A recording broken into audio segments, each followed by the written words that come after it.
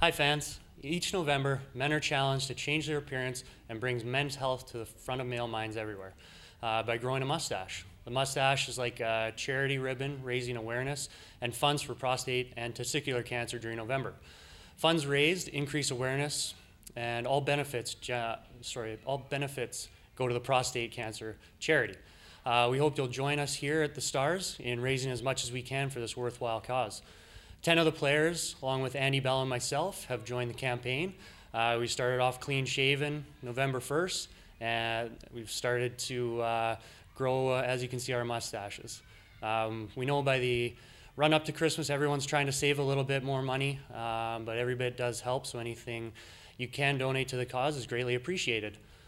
Uh, we will be running our Movember campaign at all home games during the month of November. Uh, we will be asking the fans to vote for the best Movember mustache amongst the participating players on the Stars website. And at the end of the month, Derek will take the final pictures of our unshaven efforts. Many thanks to all of you who have already contributed. Please look uh, for our charity boxes at home games during November. And from all of us at the Stars, we thank you.